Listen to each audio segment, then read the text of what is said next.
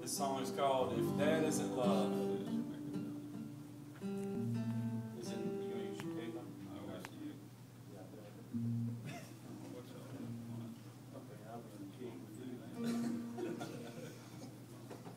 This is a beautiful song talking about Jesus. He left the splendor of heaven. No, he knew what his destiny was, but he came to lay down his life for us on Calvary. Yeah. And there's, if, if that isn't love, is what the psalm says. The ocean is